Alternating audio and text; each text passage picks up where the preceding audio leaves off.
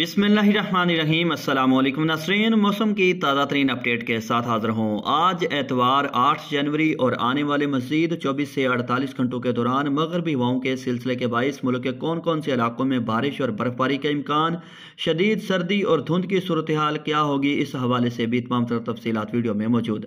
मतलब ताज़ा तरीन रेडार सेटेलाइट आपके सामने, जिसमें आप देख सकते हैं कि मगरबी हवाओं का नया सिलसिला गहरे बादलों की सूरत में पाकिस्तान में दाखिल हो चुका है, जिसके बायस आने 24 से 48 घंटों के दौरान कोयटा, जियारत पशीन चमन, किला अब्दुल्ला, किला सैफुल्ला समेत सुबह बलूचिस्तान के मुख्तलिफ़ शुमाली और मगरबी इलाकों, पिशावर समेत सुबह खैबर पख्तनख्वा में भी कहीं कहीं, जबकि कश्मीर, गिलगा बल्तिस्तान और बालाई खैबर पख्तनख्वा समेत मुल्क के ज़्यादातर शुमाली पहाड़ी इलाकों और मगरबी इलाकों में अच्छी बारिश और पहाड़ी मकाम पर ज़बरदस्त बर्फबारी का इम्कान।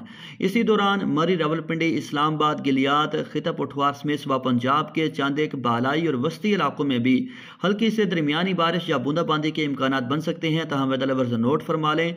सुबह पंजाब के बेशतर इलाकों, कराची में सुबह सिंध और मशरकी बलोचिस्तान के बेशतर इलाकों में सिलसिले के बायस किसी खातर का बारिश का इम्कान नहीं। मौसम बदस्तूर खुश्क होगा। तहम मुख्तलिफ़ इलाकों में बादल आने के बायस हल्की बूंदाबांदी के कुछ इम्कान बन सकते हैं।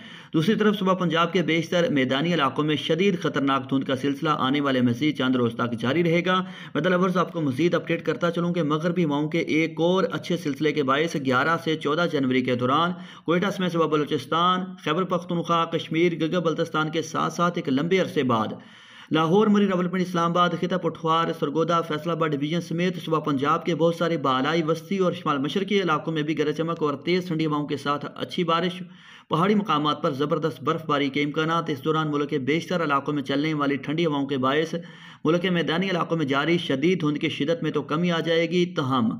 खून जमा देने वाली सर्दी का सिलसिला जारी रहेगा। आने वाले सिलसिलों के बायस फ़िलहाल जनूबी पंजाब, मशरकी बलोचिस्तान और कराची समेत सुबह सिंध के बेशर इलाकों में किसी खातर का बारिश का इम्कान नहीं। मौसम बदस्तूर खुश्क रहेगा।